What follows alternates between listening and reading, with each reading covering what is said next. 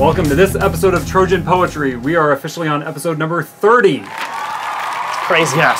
Right? We celebrated with number 10. I don't even know how we could top that. Unbelievable. man, we did it. We just We kept got going. triple the triple the party right now compared to number ten. All right, so we thought uh, for episode 30, we've got a three theme. We've got three poems by the same author, but we're going to break them into three different episodes. There are three of us. Uh, Mike and Chris have not read the two, po- the three poems, uh, and we are going to be looking at a poem called "The Gift" by Li-Young Lee. So here we go. To pull the metal splinter from my palm, my father recited a story in a low voice. I watched his lovely face and not the blade. Before the story ended, he'd removed the iron sliver I thought I'd die from. I can't remember the tale, but hear his voice still, a well of dark water, a prayer. And I recall his hands, two measures of tenderness he laid against my face, the flames of discipline he raised above my head. Had you entered that afternoon, you would have thought you saw a man planting something in a boy's palm, a silver tear, a tiny flame. Had you followed that boy, you would have arrived here where I bend over my wife's right hand. Look how I shave her thumbnail down so carefully she feels no pain. Watch as I lift the splinter out. I was seven when my father took my hand like this, and I did not hold that shard between my fingers and think, metal that will bury me. Christen it, little assassin, ore going deep for my heart. And I did not lift up my wound and cry, Death visited here. I did what a child does when he's given something to keep. I kissed my father. All right. Okay. So there's a lot in there. Yeah. Whoa. And having read it for the first time, um, this was uh, written by, like I said, Li-Young Lee, who was born in 1957. He was born in Jakarta, Indonesia, and by the time he was eight, he ended up in America, and I believe he is now currently in Chicago. okay. So, um, if you'd like me to kind of talk a little bit, Yeah. while Why don't you guys take kind of- this one first while we're taking Okay. it all in? So the reason um, I picked it, we could actually go through a lot of poetry looking for poems for Trojan poetry, trying to find ones that would be appropriate in length and content and all of that. And I got really excited when I uh, found this one in this book. It is the there you go Norton Anthology of Modern and Contemporary Poetry, Volume Two. And I was thumbing through it, and I found this one and uh, the the other two we're going to read in the next two episodes.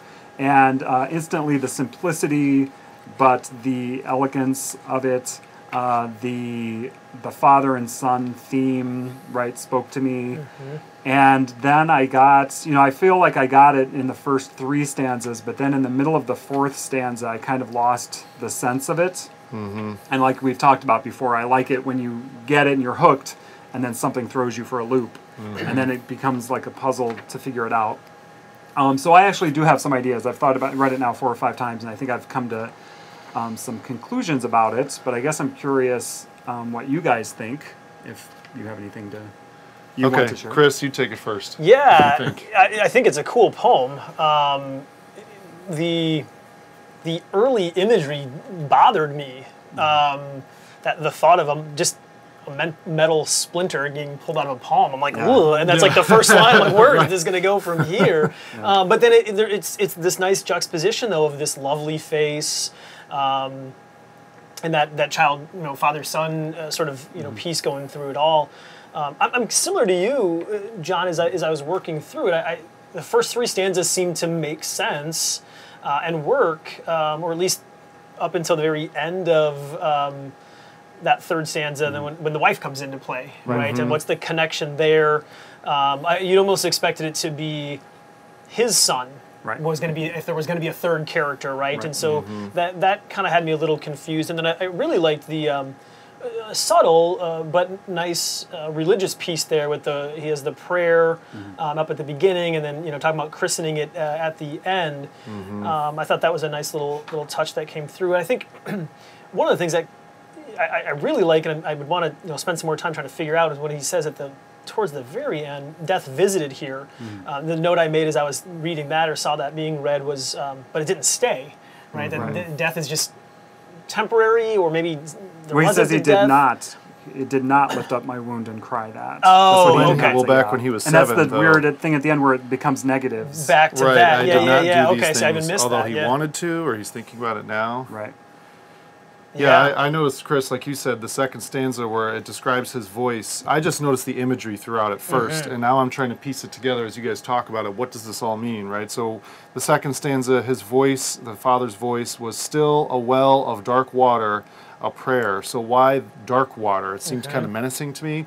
And then his hands, two measures of tenderness, he laid against my face. Flames of discipline he raised above above my head. So, what were the flames of discipline? Was he yelling at the kid for doing something wrong? Was he beating him? I mean, what's going on there? And then the other thing, uh, in the third stanza, you you you would have thought you saw a man planting something in a boy's palm, a silver tear, a tiny flame, and so it's like that moment. The father, it's almost like magic. That's when when you said you read the first line. I thought it was. I didn't realize it was literal. To pull the metal Yeah. splinter from my palm, my father recited a story. I thought this was like magical realism. Like, oh, cool, the father's like casting a spell or something Mm. Like that. and then I was like, yeah. no, he's just digging a splinter out of his hand with a knife. yeah, well, that's the other thing like, that caught me too. I don't know. I mean, it's been a long time since I've had a splinter, and I'm not sure if I've had a metal one, but I've never used a knife to dig it out, like a needle to just kind of get a little bit into the skin. But I'm thinking when I saw a blade, I was like, I just wrote next to it, I'm like, why? like, my goodness. There's other tools out there that you could use. Um, and it, so, John, do you want? You said you had some ideas about that ending because uh, I do. okay, But I don't know if you guys want me to. I'd love to hear. Please Okay. enlighten us. I'm What not going to get there in the next three minutes. Right, so what do you got? Right. so I um, I got to the end of it right now. I was confused about the whole what the not. Right. I did not do this. I did not do this. I did not do this. And the question that I came up with also was, what is the gift? Right. It's called the mm-hmm. oh, gift. Oh, true. Yeah. So what? It, what mm-hmm. exactly is the gift, and why is the wife in it? Right, because it seems to be about the father and the son, Yep. but then it becomes about the husband and the wife, but then it goes back to the father. And I guess what I maybe I'll just give it away and then I'll explain Yeah. how I got there. Is I think the gift is this idea of tenderness, okay. and mm-hmm. that the the gentle the gentleness and the helpfulness that the boy learns you can be gentle and helpful even though his father at times had hands that were mm, flames of mm-hmm. discipline mm-hmm. they could also be measures of tenderness right? The father is mm-hmm. clearly an ambiguous figure. Right.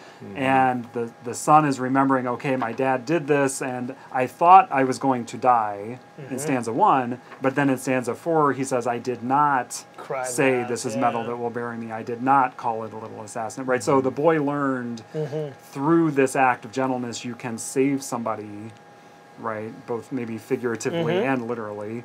Um, and then he's rem- as he's helping his wife get out of splinter he's taken back to the memory of his father. Sure. and that um, that is the gift right? He learns that gentleness Is possible, yeah and it, it prevents that anxiety, like you said at the end. I didn't think all these Right. things. Metal will bury me, and death. I, I also thought something about death visited here, like you pointed out, Chris. Maybe he's thinking about his father, like this random act Yeah. that took him back in time to remember when his dad did this for him. And he's like thinking Right. about it, you know, Right. death visited here. Maybe his dad passed away recently when he wrote this poem, or he was on his mm-hmm. mind, or something like that. Um, or going deep for my heart. I don't know. Maybe that's also like mourning ore something like that. Yeah. Something to consider. and i just the because at the end right i did what a child does when he's mm-hmm. given something to keep Love i kissed line. my father right like mm-hmm. the the son's nervousness or anxiety is completely washed away mm-hmm. because of the father right his tender face his lovely face right even though it's a blade which Right. seems scary Yeah. the father is so gentle with it or tender that he's able to alleviate Well, Yeah. that that in the second line of that last stanza, uh, he describes the way he's helping her, you know, so carefully, right? That same that there, there's, there is that tenderness there that um, that could have been learned. So yeah, it's good. It's good stuff. All right. So I don't know. The, I guess the question would be: Do you think that that is the gift? And if not, what is the gift? Because you know he sets us up that there's a gift, but then never says Mm-hmm. what it is. So that's it. Thanks for watching. Please join the conversation in the comments on YouTube or on Twitter at Trojan Poetry DGN. Also, check out our website at trojanpoetrydgn.blogspot.com.